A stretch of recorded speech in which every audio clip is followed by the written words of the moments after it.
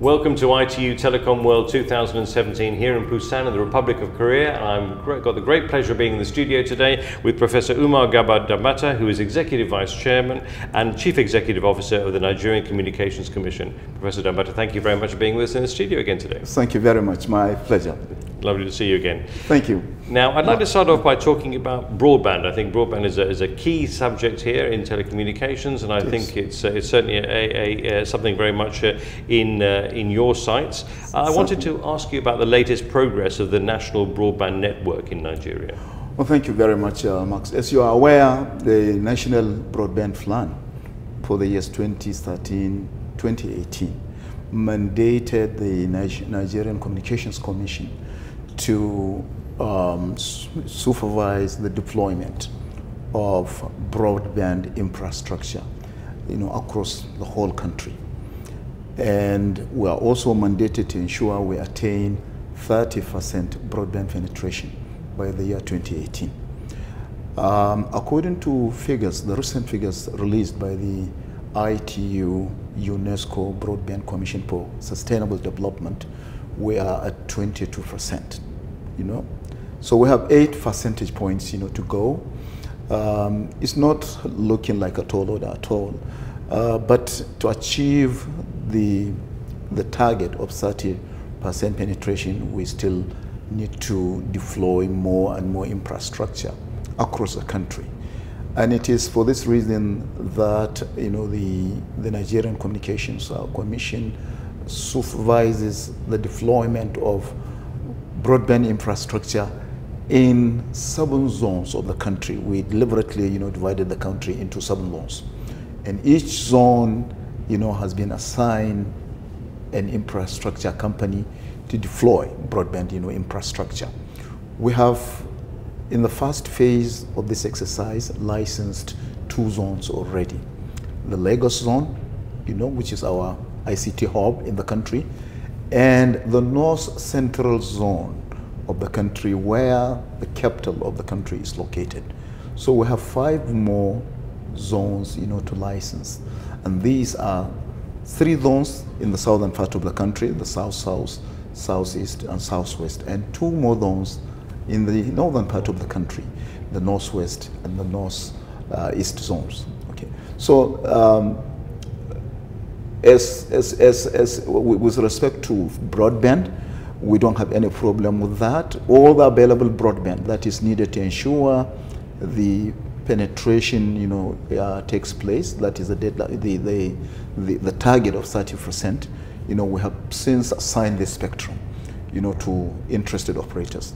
So the commission, and as I'm speaking to you, does not even have any more spectrum, you know, to assign, you know, with a view to achieving the target. What we needed to assign in order to ensure attainment of the target has been done. What remains to be done is the broadband infrastructure.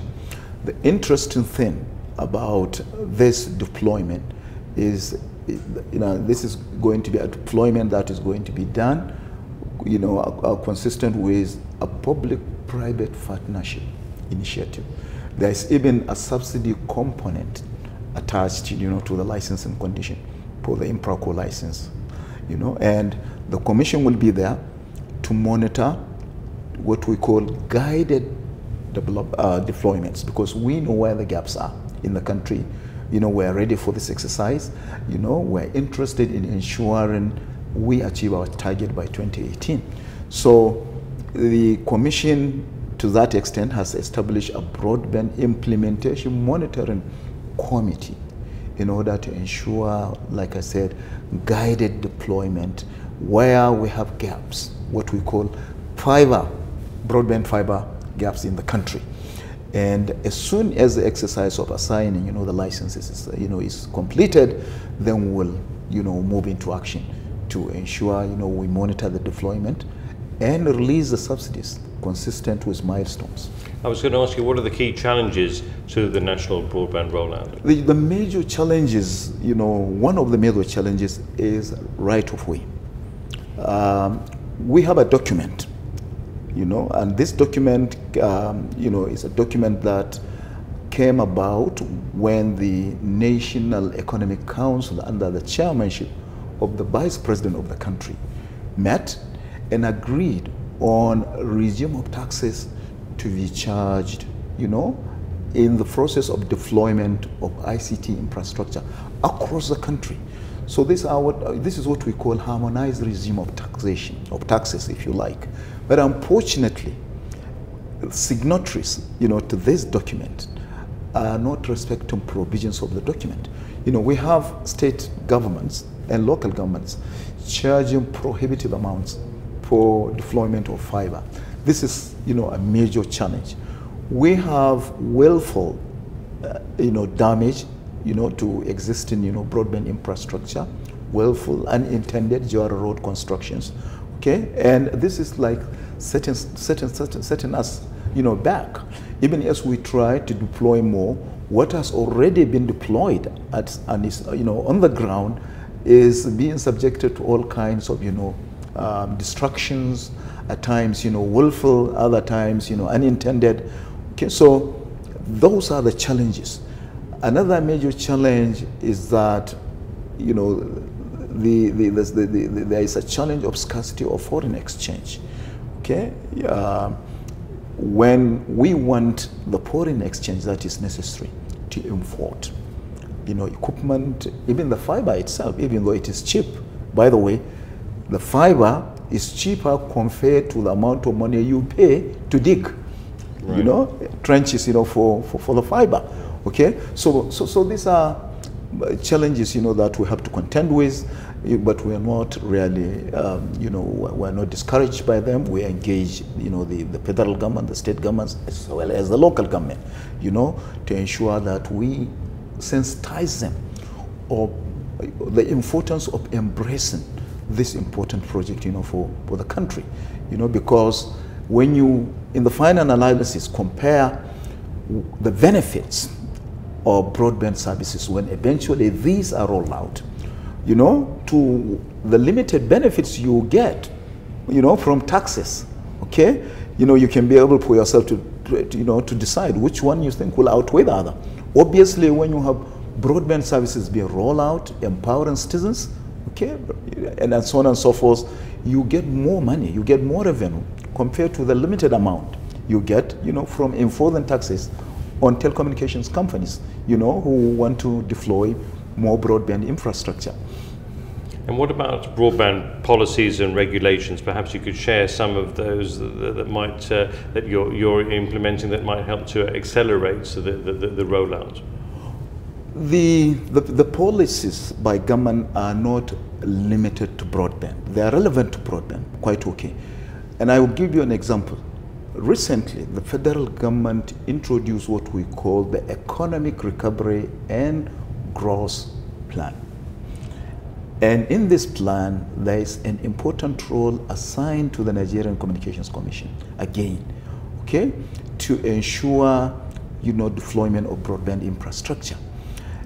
And the attraction of those provisions of this plan, I'm talking about the economic recovery and growth plan of the federal government is you have, you know, incentives for investors to come in, you know, including 30% reduction in company income tax, you know, plus a list of other incentives, waivers of, you know, on, you know, uh, income duties for importation of, you know, the infrastructure equipment and so on and so forth. So we have been, you know, informing the, the, the, investors at this important forum about all these, you know, very good incentives by the Nigerian government, as well as the ease of doing business. You know, this has, you know, really improved significantly. There is an executive order, as I'm talking to you, on transparency and efficiency in public service delivery and this is intended to ensure that approvals are granted, you know, without delay. There's even, you know, a disciplinary measure that can be brought bear to, to bear on agencies of government deliberately, you know, refusing to grant approvals. And then access to agencies, you know, like the Nigerian Communications Commission by investors to the Niger you know, to the Nigerian Investment and Promotion Council. This is easily facilitated. Information is available. We have a one-stop shop where you can acquire all the items of information I'm giving you. You know, and this is verifiable. And uh, you know, we're waiting for the investors to come in. You know, join us in a public partnership. You know, you, you know, basis to ensure you know we attain our targets. Talking about investment, obviously you've made an investment here at uh, ITU Telecom World. You've got a lovely pavilion here. Nigeria has a great pavilion here. Just wanted to find out what's the value of attending events uh, such as this? It is very important, you know, to, to attend events, you know, like the ITU Telecoms World. And we have been doing this, you know, way back. You know, our relationship with the ITU, you know, you know it's, it's way back. I don't know, I, I think it was established even before I was born. Okay, so it was established many, many years ago. And there is a reason why we attach great importance to attending such these events. One is to be able to learn from global best practices. You know, in a way and manner that we can bring this to bear, you know, in our country to solve contentious problems of, you know, uh, that, you know, problems that conspire to degrade, among other things, you know, quality of service, right of way issues, okay, and so on and so forth. We also learn from what policies, you know, other countries, you know, you know, have in place, which we think we can either, you know, bring in total and implement same in our country, or modify to adopt peculiarities, you know, in our country. So the, the benefits are immense. You know that you know we, we, we come with our SMEs, you know our you know small and medium scale entrepreneurs. Last year we came with about eight. This year we have come with six, too short. But what innovative ideas they have put together and are showcasing in this event, you know, have attracted a lot of attention and it, they have generated a lot of interest.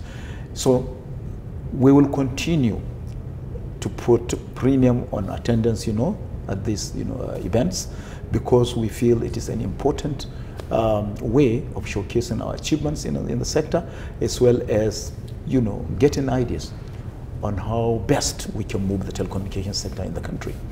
Well, thank you very much for sharing your valuable insights here with us. We're very pleased that you're here and look forward to catching up with you again in the future.